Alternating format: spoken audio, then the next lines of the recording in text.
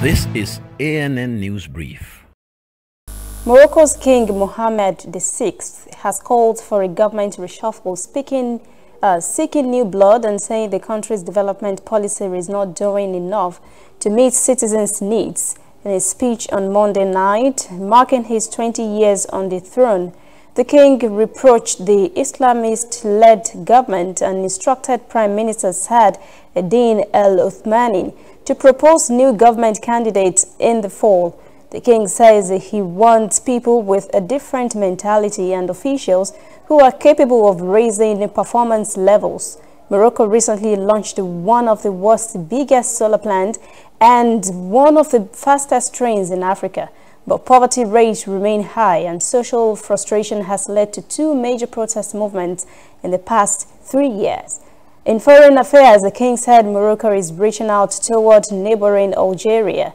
Their shared border has been closed since 1994 over Western Sahara, a former Spanish colony annexed by Morocco in 1975 and claimed by the Algerian-backed Polisario Front after a long conflict. He reiterated Morocco's commitment to the UN political process for finding solutions to the Western Sahara conflict. Lawyer for a blogger who drew international attention after being accused of blasphemy said on Tuesday his client has been set free in Mauritania. Attorney Fatimata Mbaye told French news agency AFP, although his client Sheikh Ould Mohamed Ould Mukhtar has been released, he is not completely free in his movements. Mukhtar was initially sentenced to death, then was given a jail term, and afterwards was held under house arrest. Citizen journalist and blogger Mukhtar was arrested in 2013 for what the state called blasphemy after he wrote a blog post condemning the use of religion to justify racial discrimination. 2017, a Mauritanian court commuted Mukhtar's sentence to two years, which he had already served, legally liberating him, but he remained detained in an undisclosed location. Stay with us, we'll return after this message.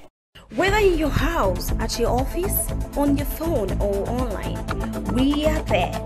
We have the facts behind the headlines. We cut to the chase with the news you really need. We cover every angle. We are the bigger, better news network. We are African News Network.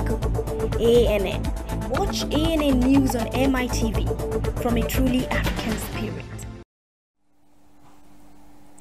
Ethiopian officials believe the country has set a world record by planting more than 350 million trees in one day. The massive effort is part of Prime Minister Abiy Ahmed's Green Legacy Initiative, which aims to plant more than 4 billion trees or 40 trees per person between May and October.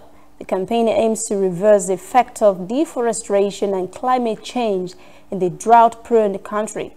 Besides ordinary Ethiopians, various international organizations and the business community also joined the exercise, which aims to surpass India's record planting of 66 million trees in 12 hours in 2017. Great efforts, and that's ANN News Brief. For details on these and other breaking stories, visit our website, annafrica.news. Conversation continues on our social media platforms, Twitter, Instagram and Facebook at ANN Africa TV. I'm Lucy Adeyemi.